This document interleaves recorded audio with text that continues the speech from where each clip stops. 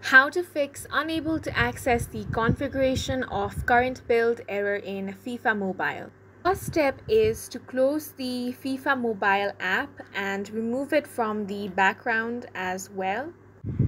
After this, you want to switch from Wi-Fi to data or data to Wi-Fi to make sure that your internet connection is good. If that doesn't fixes your issue, then you want to head over to settings and here tap on developer options. After this, you want to make sure that Wi-Fi scan throttling option is turned on. Then turn on the mobile data always active option as well. After doing all of this, your issue should be fixed. If it's not, then you want to open up apps from your settings. Now you want to go to FIFA.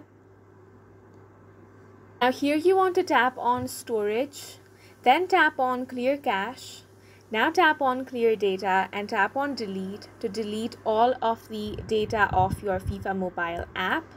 Now after all of these settings you have to restart your device and when you open FIFA mobile after restarting your issue should get fixed. And that is it for this video. We hope you guys helpful. Please make sure to hit the like button and subscribe for more helpful tutorials.